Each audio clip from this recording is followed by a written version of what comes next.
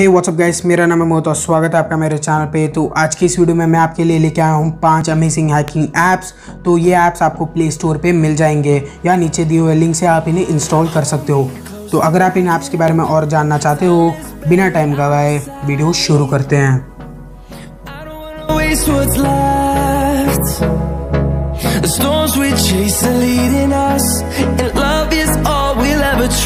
तो इस ऐप का नाम है हाइड स्क्रीन तो ऐप के अंदर जाने के बाद आपको सारी परमिशंस अलाउ करना है।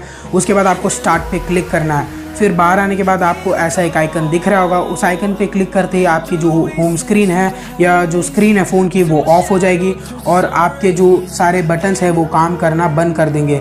बेसिकली ये आपके स्क्रीन पे एक ब्लैक कलर की लेयर जो है इनेबल करती है, जिसकी वजह से आपको लगता है कि आपका जो फ़ोन है वो ख़राब हो चुका है या बंद हो चुका है। तो आप उसे ऑन करने ऑन कर सकते हो वापस। आपको बस स्क्रीन पे डबल टैप करना है और आपका फ़ोन जो है ऑन हो जाएगा। आप इसे यूज़ कर सकते हो अपने दोस्त को प्रैंक करने के लिए या फिर किसी को परेशान करने के लिए आप इस ऐप का यूज़ कर सकते हो।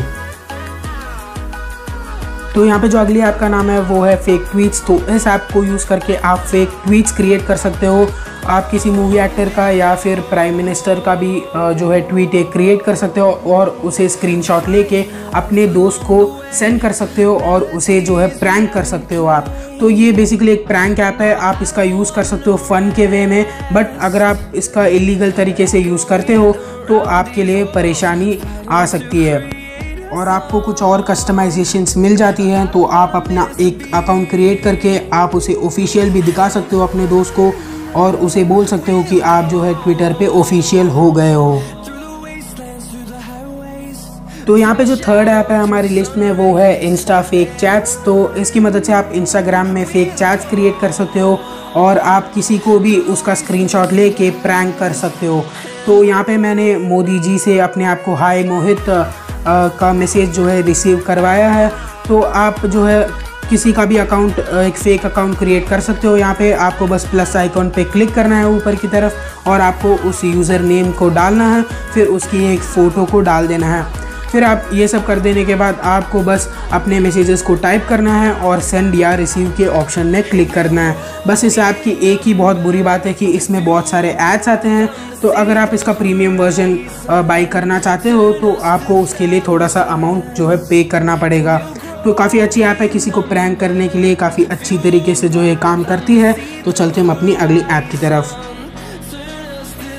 तो यहाँ पे जो अगली ऐप है लिस्ट में वो है टेम्प मेल तो कई वेबसाइट्स ऐसी होती है कि वो आपका ईमेल आईडी मांगती है बट आपको जो है अपनी ईमेल आईडी देने में थोड़ा सा रिस्क होता है किसी भी फेक वेबसाइट में डालने के लिए। तो आप इस ऐप का यूज़ कर सकते हो और फेक ईमेल आईडीज़ को जनरेट करा सकते हो और इस ऐप के यूज़ से आप किसी भी वेबसाइट में लॉगिन कर सकते हो। और कोई भी वेरिफिकेशन के लिए अगर कोई कोड आता है तो इस ऐप में डायरेक्टली आ जाता है।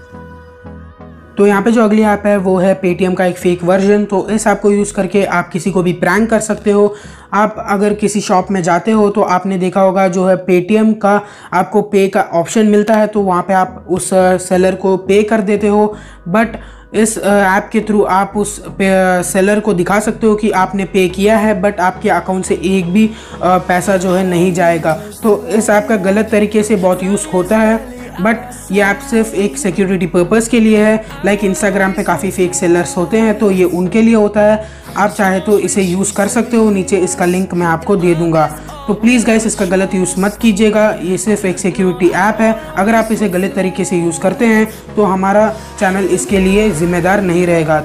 तो यही थी वो पाँच अमेजिंग हैकिंग ऐप्स अगर आपको ये वीडियो अच्छा लगा तो इस वीडियो को लाइक कर दीजिए शेयर कर दीजिए अपने दोस्तों के साथ और चैनल को सब्सक्राइब कर दीजिए कुछ और ऐसी औसम वीडियोज़ के लिए। मिलता हूँ आप सबसे मेरी अगली वीडियो में। तब तक ले जय हिंद, वंदे मातरम, धन्यवाद।